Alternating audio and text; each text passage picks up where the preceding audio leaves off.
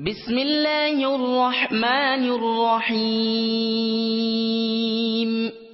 سبح اسم ربك الأعلى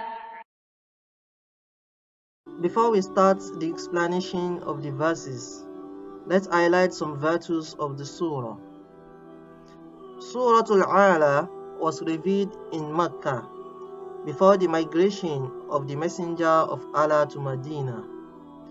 Imam al-Bukhari rahimahullah recorded from Al-Bara bin Azib that he said, The first people to come to us in Al-Madinah from the companions of the Messenger of Allah sallallahu alayhi wa wasallam were Mus'ab bin Umayr and Ibn Umm Maktoum who taught us the Quran.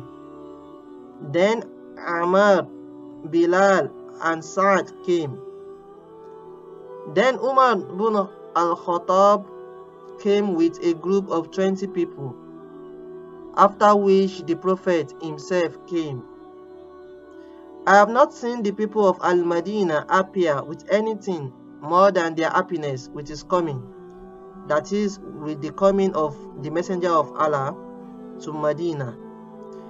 This was reached to such an extent that I saw the children and little ones saying, This is the Messenger of Allah who has come.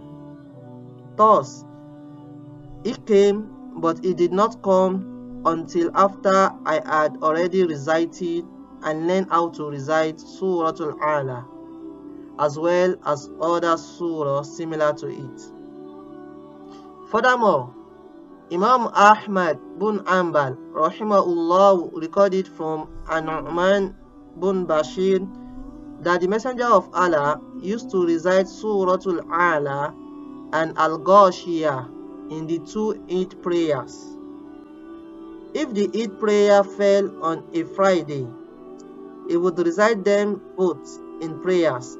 That is, he would recite Al-Ghashiyah and Al-Ala in Eid prayer and in Juma prayers.